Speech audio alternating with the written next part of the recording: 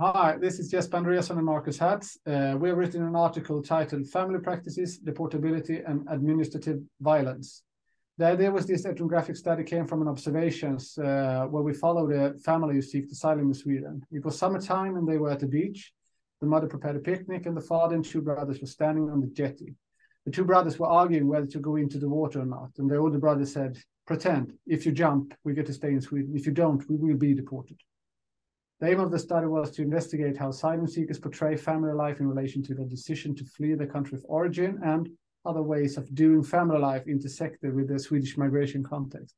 So family practices and the risk of deportability was at the heart of the article and analysis, and in which we followed asylum-seeking families ethnographically.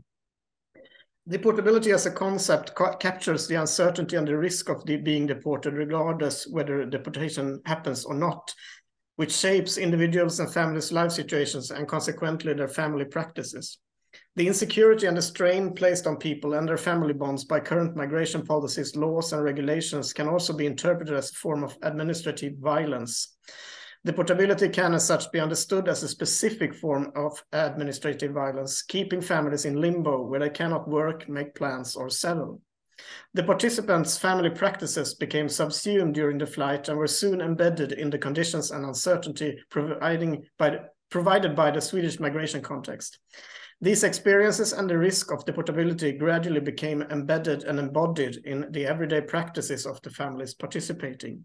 The risk of deportation, the experience of migration, and not least the experiences of the Swedish welfare system were profoundly affecting the families, changing how people with migration backgrounds did family life.